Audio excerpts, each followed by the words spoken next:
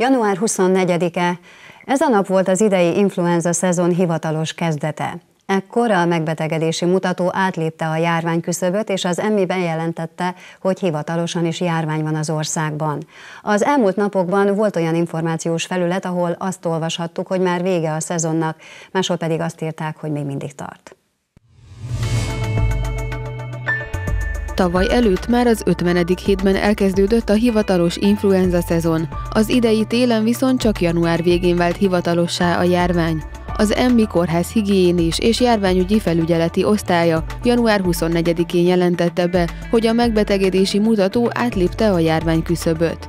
A figyelőszolgálatban résztvevő orvosok jelentései alapján az országban január 15-e és 21-e között az előző hetinél 32,7%-kal többen, azaz 16.850 ember fordult orvoshoz influenza-szerű tünetekkel. A szakemberek azt javasolják, ebben az időszakban többször és alaposabban mossunk kezet, valamint fogyasszunk minél több vitamint.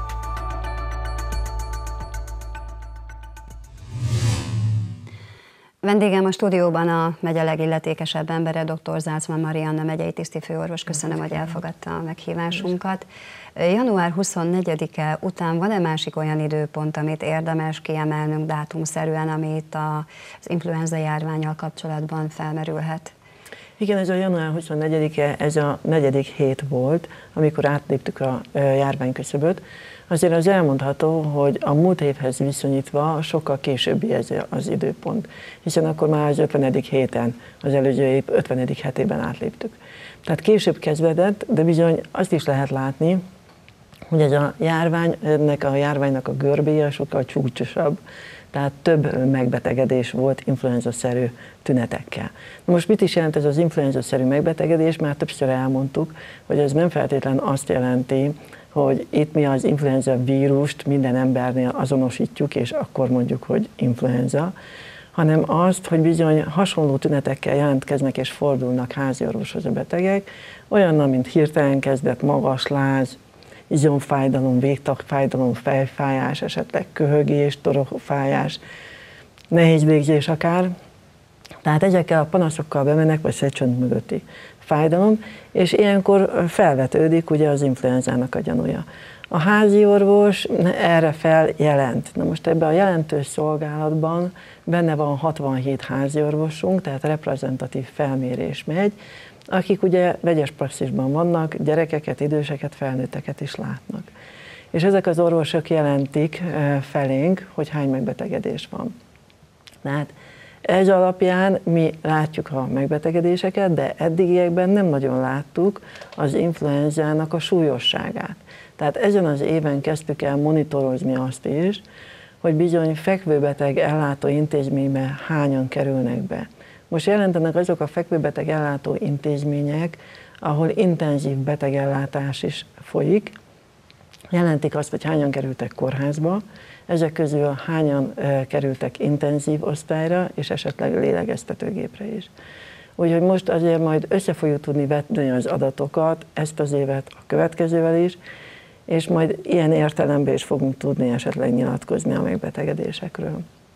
De igen, azt, hogy hol járunk, most azt mondhatjuk, hogy a 9.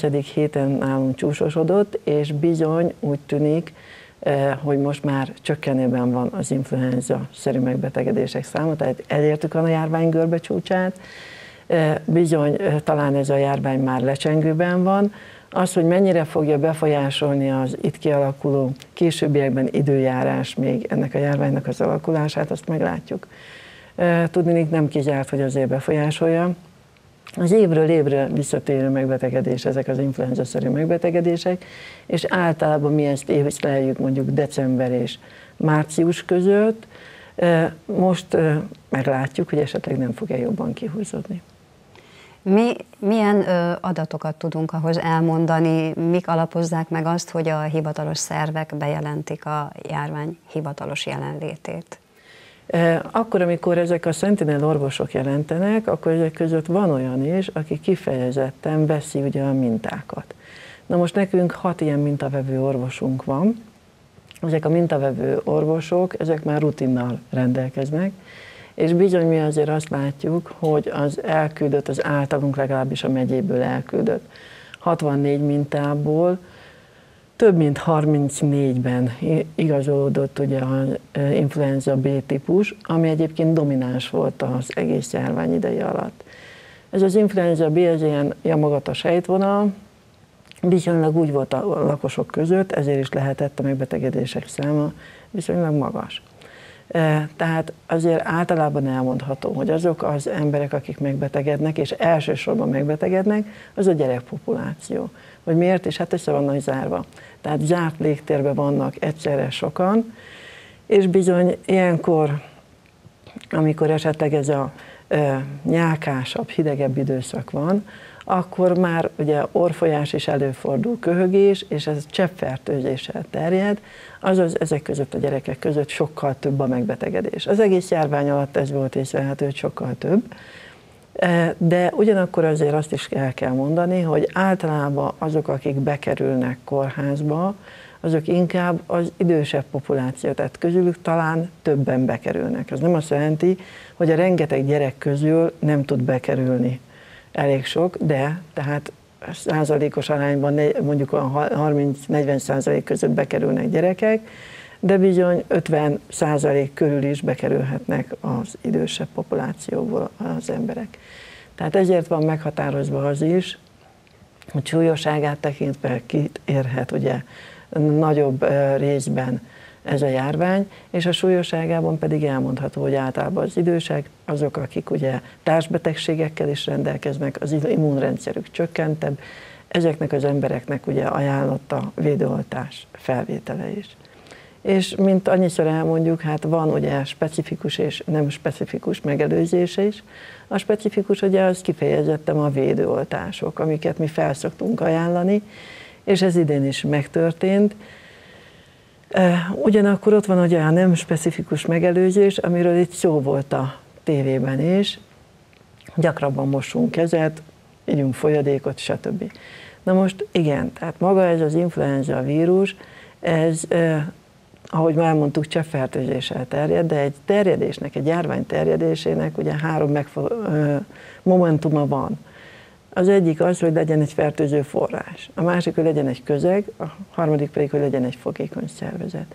Tehát azzal, hogyha valaki fertőző forrásként bemegy a közösségbe, az azt jelenti, hogy ő már bizony tud fertőzni, és ezért is kérjük, hogy betegen, ha lehet, ne nagyon menjenek a gyerekek az iskolások közösségbe, hiszen zártan vannak egy csoportban. Na most az, hogy hogyan tud ugye terjedni maga a vírus, az pedig e, tudjuk, hogy ha megfogjuk a tárgyakat, koszos kézzel, pláne, hogyha esetleg beleszöntettünk a kezünkbe, akkor már ezek a felületen ott maradhatnak, és bizony ezért mondjuk, hogy lehetőleg a zsebkendő használata elengedhetetlen, a papír használata, és ezért kérjük, hogy kitéve legyen, elérhető helyen, hozzáférhető helyen.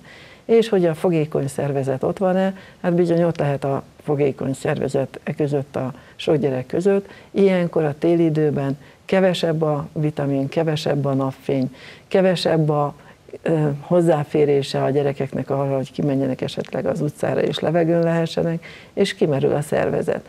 Tehát ilyenkor fogékonyabbak is. A védőoltások mennyiben jelentenek százszázalékos megelőzést? A védőoltások soha nem százszázalékosak. Tehát azt elmondhatjuk, hogy általában a gyerekeknél az immunválasz erősebb.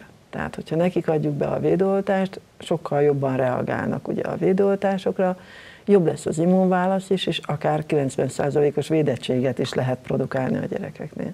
Idősebbeknél már nem ugyanolyan az immunválasz, tehát esetleg kisebb a védettség is. Ennek ellenére azt lehet mondani, hogy azok között, akik megkapják a védőoltást, súlyos, vagy akár halálos kimenetellel is járó influenza nem szokott előfordulni. És ez nálunk óriási jelentőségű, hiszen nagyon jól tudjuk, hogy az influenza járvány ideje alatt mindig vannak halálos kimenetelű megbetegedések. A beszélgetés végén már csak annyit szeretnék megkérdezni, hogy öntől elhangzott az, hogy csökkenő tendencia igen. regisztrálható most már. Ez nem fordulhat már vissza? De igen, tehát pont erre mondtam én azt, hogy azzal, hogy ha most bejön a hidegebb idő, akkor nem biztos, hogy legalábbis itt helyileg a megyénkben nem fog esetleg még emelkedni a megbetegedések száma.